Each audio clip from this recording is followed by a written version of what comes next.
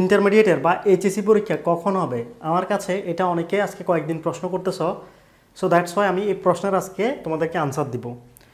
আমি কিছু তথ্য উপাত্ত বিশ্লেষণ করব দেন একটা সম্ভাব্য দিকে আমরা যাব যে কখন আসলে পরীক্ষা হতে পারে।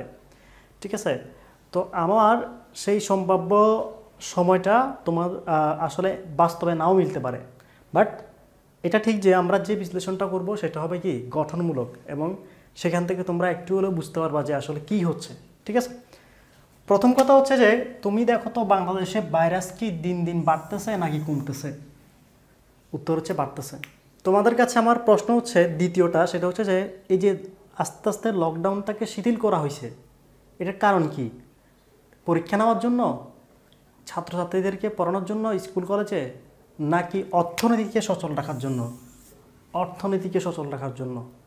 নাহলে কিন্তু খুলতো না। অর্থাৎ পেট বাঁচানোর জন্যই মূলত লকডাউন শিথিল শিথিল করা হয়েছে তোমাদের কাছে আমার আরও একটা প্রশ্ন, সেটা হচ্ছে এই মুহূর্তে যেই সকল পরিবারে ভাইরাস রয়েছে বা যেই সকল পরিবার ভাইরাস আক্রান্ত, সেই সকল পরিবার রেস্টুরেন্টরা কি পরীক্ষা দিতে পারবে? উত্তর হচ্ছে নো তোমার কাছে আমার আরও কিছু প্রশ্ন, যেই সকল ডাক্তার চিকিৎসা দিচ্ছেন বাংলাদেশের বিভিন্ন করোনা হাসপাতালগুলোতে ওনাদের যারা বাচ্চা রয়েছেন, তারা কি স্কুল কলেজে যেতে পারবে? তারা কি ইন্টারমিডিয়েট পরীক্ষা দিতে পারবে? উত্তর হচ্ছে নো তোমাদের কাছে আমার আরও একটা প্রশ্ন। সেটা হচ্ছে, পরীক্ষার যদি ডেট দেয় গার্ডিয়ানরা সচেতন পিতামাতা কি তার সন্তানকে স্কুলে পাঠাবে? তার সন্তানকে কি ইয়াতে পাঠাবে? পরীক্ষার সেন্টারে যেখানে শত শত পোলাপাইন পরীক্ষা দিবে, সেখানে পাঠাবে? উত্তর হচ্ছে no। তোমাদের কাছে আমার আরও একটি প্রশ্ন। সেটা হচ্ছে, তোমার বাসা এক জায়গায় তুমি আর এক জায়গায় গিয়ে প্রতিদিন পরীক্ষা দিতে হবে। তুমি কি যাবা পরীক্ষা দিতে? এই ভাইরাসের মধ্যে? তুমি কি জানো যে তোমার পাশের জন ভাইরাস আক্রান্ত কিনা? জানো না। তোমার মনের মধ্যে কি থাকবে? সংকোচ, সন্দেহ, ভয়। সো দেখো, আমরা মূলত লকডাউনটা খুলছি কেন? বাংলাদেশে, সেটা হচ্ছে অর্থনীতির চাকাকে সচল রাখার জন্য। ঠিক আছে? এবার আসি, আমাদের করোনা ভাইরাসের আক্রান্ত রোগীর সংখ্যা প্রতিদিন বাড়তেছে। এটা কমতেছে না। যদি কখনো দেখো যে কমতেছে, সংখ্যাটা দিন দিন কমতেছে, তখনই সরকার চিন্তা করবে পরীক্ষা নিবে কি নিবে না। এটা মনে রাখো, যতদিন বাড়তেছে, সরকার কখনোই পরীক্ষার নেওয়ার চিন্তা করবে না।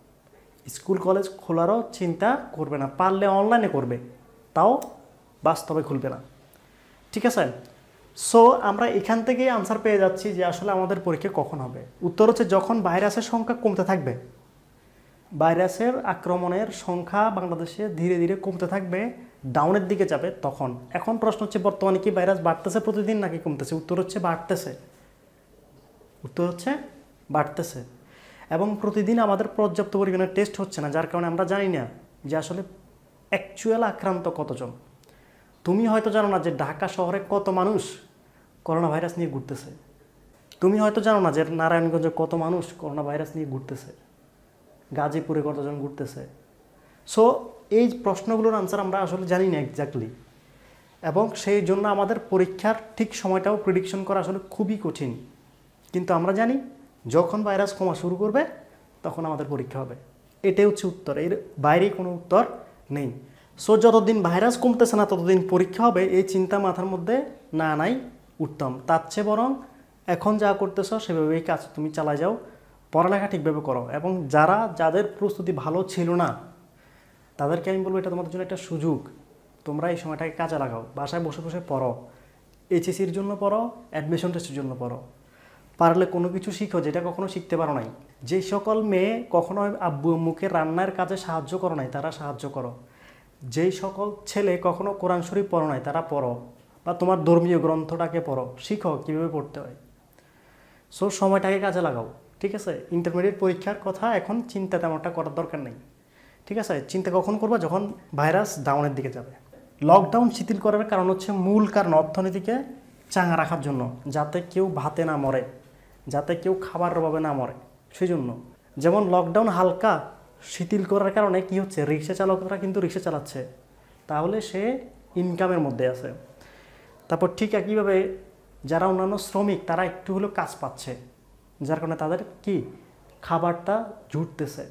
এটা যদি টোটালি বন্ধ করে দেওয়া হতো, তাহলে কিন্তু এতদিনে বাংলাদেশে মানে এখন হাহাকার শুরু হয়ে যেত। সেই জন্যই গভর্নমেন্ট সব কিছুকে কি একটু একটু খুলে দিছে। বাট এটা মনে করো না যে টোটালি সব কিছু খুলে দিবে। টোটালি খুলবে না, খুললেও দেরি হবে আর খুললেও স্কুল কলেজ খুলবে না। খুললেও পরীক্ষা হবে না। হয়তো ভার্সিটিগুলো খুলবে, কিন্তু স্কুল কলেজ খুলবে না। এটা মনে রাখো সবসময়। ঠিক আছে? সো আমরা আনসার পেয়ে গেছি ইন্টারমিডিয়েট পরীক্ষা কখন হবে? আর আমাদের প্রধানমন্ত্রী অলরেডি নির্দেশনা দিয়েছেন, হয়তো সেপ্টেম্বরে পরীক্ষা হবে। যদি সেপ্টেম্বর পর্যন্ত ভাইরাস কমতে থাকে। ঠিক আছে? সো এই প্রশ্নটা আর কখনোই আমাদেরকে করবে না, কেউই। ঠিক আছে? তোমরা নিজেরাই অ্যান্সার পেয়ে যাওয়া যে তোমাদের পরীক্ষা কখন হচ্ছে। আজকে চলে যাচ্ছি, অন্য একদিন আমরা অন্য কোনো টপিক নিয়ে কথা বলব। সে পর্যন্ত সবাই ভালো থাকো, আল্লাহ হাফেজ, টাটা।